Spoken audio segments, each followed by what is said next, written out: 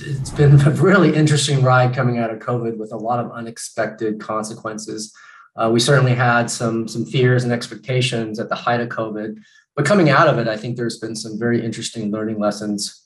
Um, in particular, that you know folks have um, not anticipated uh, some of the perils that's going to come out of it. For, for example, um, many of you might have heard about the class action lawsuits coming out of um, insureds concerned that their uh, commercial carriers were not going to cover any quote unquote business interruption losses. Um, they, to their dismay, found out that there's um, th- those types of provisions are primarily sitting inside their property coverages. And so, to the extent that there's no property losses, the insureds weren't going to get any claims uh, paid out for business interruption. Um, so, so that creates a really interesting paradigm for a lot of insureds where they just assumed that if there's any interruption of business, that was going to be covered. However, as we all know, COVID created this um, interesting situation where people couldn't operate. There was no property damage, and thus there's not a triggering event for the insurance. Um, so folks got very upset, and, and I think the learning lesson coming out of it was that you can't blindly rely on the insurance, that there are pages and pages of exclusions within all of the insurance policies purchased commercially.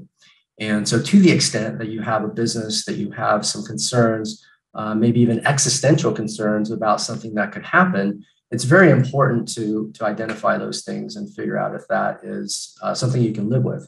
Um, uh, thankfully, for a lot of our clients who have set up captives, clients who are setting up captives after coming out of COVID, um, these things are now in the forefront. So the design and implementation of these strategies are going hand in hand with what they buy commercially, such that if some of these unexpected events come down the pike, then they are appropriately covered between commercial policies and what they've set up with their captive insurance companies.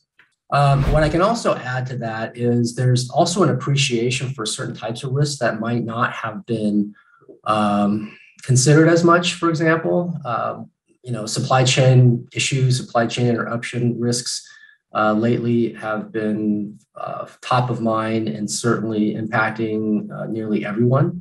Um, and this type of uh, risk sort of ebbs and flows, and certainly, you know, as of late, has become a, a huge consideration. So when you know business owners, um, you know manufacturers, import export, those types of companies um, think about supply chain. Um, oftentimes, they're looking at what the commercial markets can provide them with the premiums that also ebb and flow, and those exclusions that we talked about. Um, oftentimes, they supplement or take um, and replace commercial policies with a supply chain interruption cover through their own captive um, to the extent that those risks are embedded in someone's balance sheet, anyways. And if the ability to shift that to a commercial carrier doesn't pencil out very well, given the type of coverage, given the premiums they want to charge, oftentimes the calculus is more favorable in driving that into your own captive so you can capture that type of underwriting profit.